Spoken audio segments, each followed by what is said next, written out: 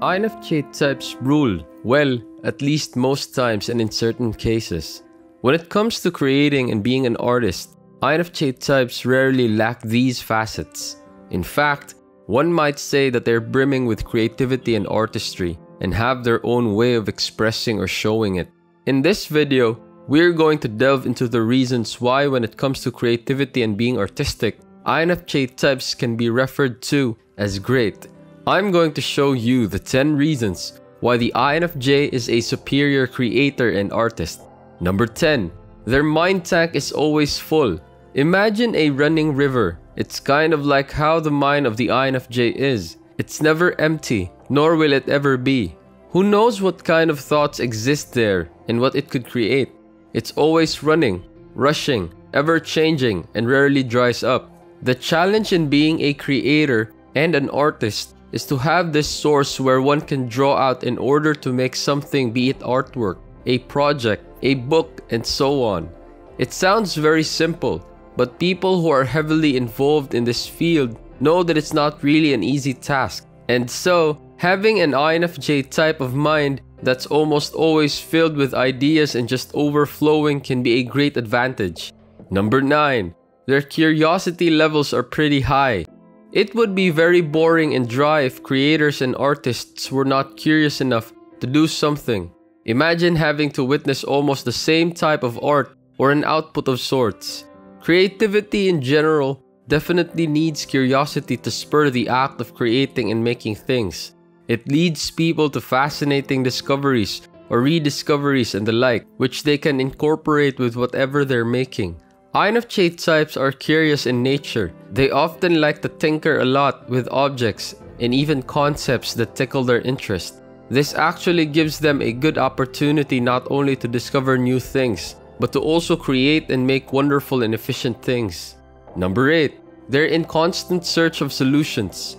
Speaking of discoveries and rediscoveries, another side of the INFJ that makes them superior creators and artists is their tendency to easily get burdened when there's a need. There are too many things in their minds and they just couldn't fathom the rest sometimes. They like to think and ask questions and the byproduct of this is them trying their best to look for answers and solutions to the questions and the problems they've created on their own. Opportunities often come with a crisis and one good outcome of trouble or a need is finding the solution for it. And sometimes finding something else entirely innovative and new that's good for everyone in general. Besides, don't some of the known inventions or creations were made almost entirely out of coincidence in the hopes of searching for a particular solution or cure in the past? Number 7. They always yearn for more. To always carry on is something INFJ types would love to embody although admittedly it's one huge task to do. INFJ types are also the type of people who would rely heavily on their feelings and moods. Their ability to create or take an action may need a source of inspiration and the like, and so, the INFJ is always on the lookout for things that would motivate them. These may be situations, people, or even other living and non-living things which can nurture and ignite something within them that they can use to do good and even great things. Sometimes, enough could never be enough, or when is it ever enough to call it enough? If you have an answer to this, you might want to talk to an INFJ about it. Number 6. They're bound to go outside the box. Now, INFJ types are commonly known as people who'd like to stick to proven ways and methods. While that's not entirely wrong, it's not everything about them though. Like other personalities, INFJ types also tend to get suffocated with routines and the like. They love to explore and even deviate from what's usual. And so, it shouldn't be so surprising that these MBTI personality groups would try out new things and even play a mix and match of sorts with their hobbies and other creations. Do you think you're an out of the box thinker too? Number 5. They're dedicated to their art.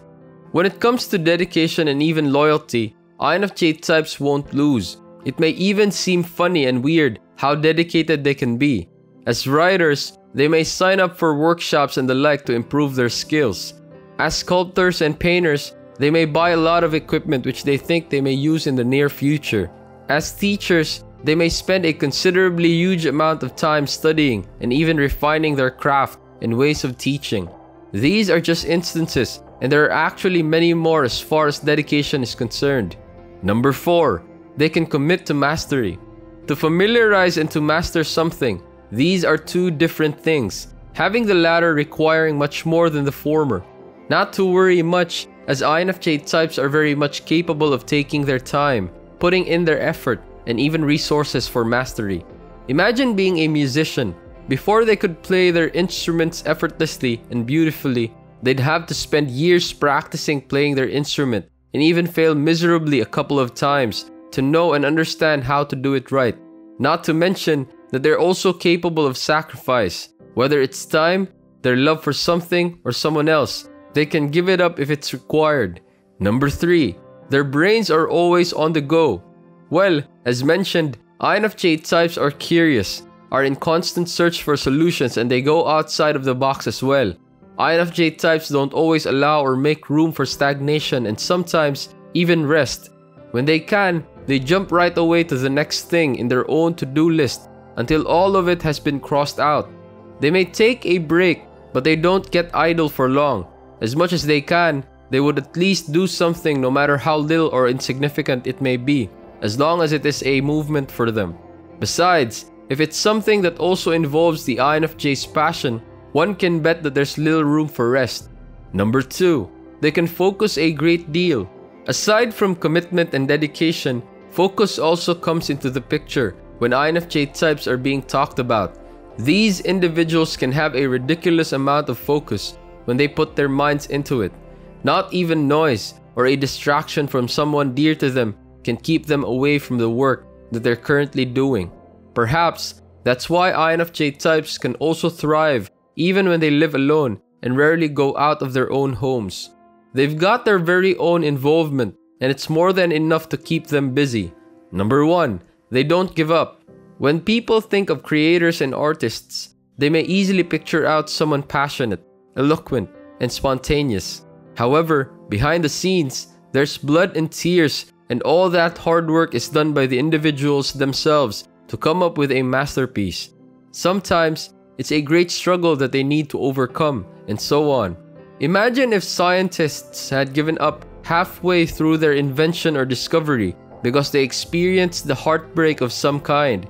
Yes, it sure isn't easy, but sometimes that's how much it requires into being superior when it comes to creating. Being on top when it comes to creativity and artistry definitely needs more than just inspiration and passion.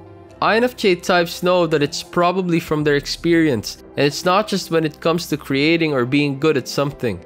Great results don't appear out of thin air, and so, the person also needs to give their all in order to achieve it. That's our take on the 10 reasons why the INFJ types are superior creators and artists. You may have a reason which we didn't include. What more can you add? What other personality types do you think are also capable of becoming superior